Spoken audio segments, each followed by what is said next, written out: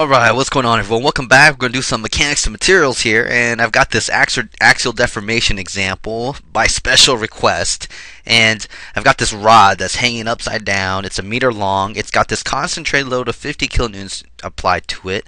And we have a it has a diameter of 25 millimeters. This rod's made of steel. So I've got a density here of 8,000 kilograms per meter cubed and a modulus of elasticity that's 200 GPa.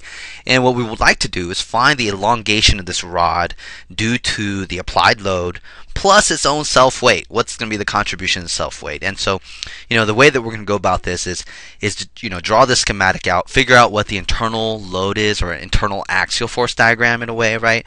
But it's essentially an internal load function, internal axial load function. Then apply our, our basic formula for axial deformation, which I'll show you in a little bit here. But the first thing that we got to do is figure out what this loading is. So uh, besides drawing out a schematic or free body diagram, you want to come up with what the what you got to resolve the loading if you have to. And in this case, we have to, and that's a function of the density in the cross-sectional area. And what that self weight is going to do is is cause a uniformly distributed load pointing downwards uh, across the length of the pipe, if you will. And so this, we'll call this dis, uh, this distributed load W is equal to rho times G times A. And this is going to give me essentially a force per length, force per unit length here. And so this rho is 8,000 kilogram per meter cubed. The gravity, 9.81 meters per second squared. And the cross-sectional area of this rod, which has a circular cross cross section and a diameter of 25 is just pi over 4 times 0.025 meters squared. And just I just converted the 25 millimeters into units of meters. So all my units will work out and I don't have to get all uh, scared if you will. And this is going to give me if I plug in and chug some numbers here this is going to give me 38.5 newtons per meter and that's my distributed load. And the way that looks is like this. It's a uniformly distributed load, which means that it's constant. The rate is constant all the way through the length of the circular shaft here. And this right here has a uniform intensity. Everything is just a straight up rate uniformly uniform load W equal to 38.5 newtons per meter. All right. Now the next thing that we want to do is calculate or determine what the internal force is. And in order to do that, you got to make a cut. Okay, so here 3 internal internal loading, really. And the only internal loading we have here is an axial internal load. So there's no moments or shears or torsions going on here. So if I make a cut, let's make that cut in green here, over here at some distance x, and I'm going to define x equals 0 at the tip here, and this right here, I'm going to call this x. The reason I use this point as x equals 0 is so that I don't have to solve for the reactions over here. And so I can just straight up make a cut and use either the top or the bottom, the entire structure above or below the cut here. And I'm going to use the entire structure below the cut. And it's going to look like this here. So here I've got my structure, my cut here and I'll cut my cut surface. I have my internal force, I'll put that in blue. I'll call this N as a function of X.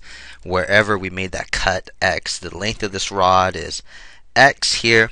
I have the loading, which is a distributed load here uniformly distributed axial loading, which we call W, and then a concentrated axial load of P equal to 50 kilonewtons here.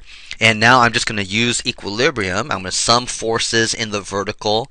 I'm going to say that's equal to 0, and that'll be N of X minus the force resultant of this distributed load, which is W times X, minus P equal to 0. And that tells me that this internal axial force, N sub X, is equal to uh, W times X plus P. And in a way, this is an internal force. If I plotted this, starting from here to here, I'd have the internal axial force diagram. So hopefully that looks all familiar to you. But once we have that going on, now the next thing that we want to do is is use this and the and our and our deformation relationship. So here, the axial deformation or the general form of axial deformation. So here I'll put this as 4 uh, axial deformation calculation. And the thing to remember was that before our axial deformation was here. Delta is equal to the integral from the segment or the length of some internal axial force divided by E AX dx. This is my general form of axial deformation due to internal force or internal axial loading here.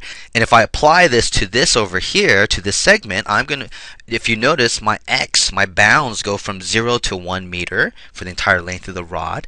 And I have a function n of x that doesn't change. And so my integral, my delta, for the my deformation of this entire rod is from 0 to L, L being is going to be 1 meter, n of x, which is W times x plus P divided by E, and my cross-sectional area is constant, so I don't have to worry about this function of x, so it's just going to be EA, you know, and that was that pi over 4d squared times dx. And now I just got to work out some math and integrate this right here. I can, I can extract this or pull this out, this EA out, and so I'll get delta is 1 over EA times the integral of this WX plus P, which is WX squared over 2 plus px.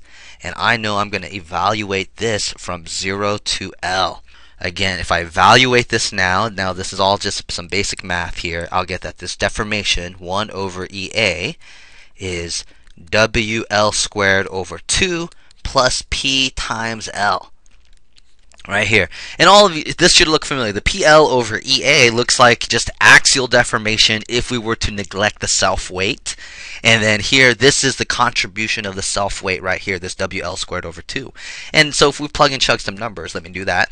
Let's see, 1 over E was, E was 200 GPa, so that's going to be 200 times 10 to the ninth newtons per meter squared times the area, which was pi over 4 times 0.025 meters squared, all times W, which was, we found 38.5 newtons per meter. The length was 1 meter squared divided by 2 plus 50 kilonewtons, which is the same as 50,000 newtons. Hopefully I'm not going to run out of space, times 1 meter right here. Let's make this a bracket right there. This 50 kilonewton times 1 meter. And this should be 50,000 newtons if you want to make sure all your numbers work out right. And this axial deformation is going to be equal to 0.000509 meters, which is the same as 0.509 millimeters. And if anything, this problem tells us it takes a lot of force to make to deform steel in the axial direction. But here it is, and hopefully that was useful for you. And let me know if you have any questions. See ya.